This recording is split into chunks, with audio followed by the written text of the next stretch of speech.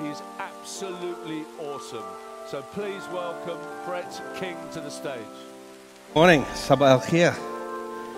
It's good to be back in the region. We're going to talk about banking, obviously, and we've heard a lot of talk about uh, these new technologies. Yeah, it's, it's quite a thing to wake up one morning and find your Twitter feed getting blown up by people saying, Isn't that your book on President Xi's uh, uh, shelf? Um, so that's pretty cool. But um, as, as a futurist, one of the things that you try and do is you're not just looking at what's going to happen in the future, you have to look at analogies for what might happen based on what's happened in the past. JP and I were talking about this last night. A futurist told him once you have to be a good pastus, you know, understanding the past to understand the future.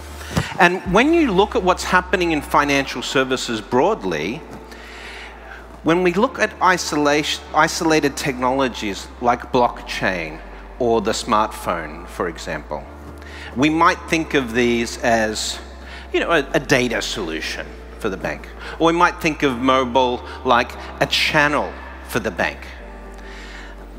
But if you step back from those specific technologies and you look at what's happening in the world, something is changing.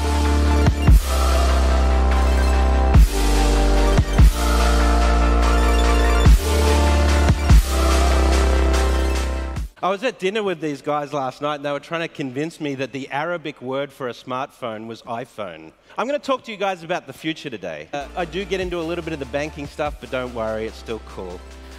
What's interesting is we're developing many different types of robots. Even though the first robots we thought of would look human, actually the most common form of robots we'll see in the future may look like this, or autonomous vehicles, self-driving cars. But by 2035, there's going to be more robots than humans on the planet. So my only advice is be kind to robots. You never know what's going to happen in the future, right?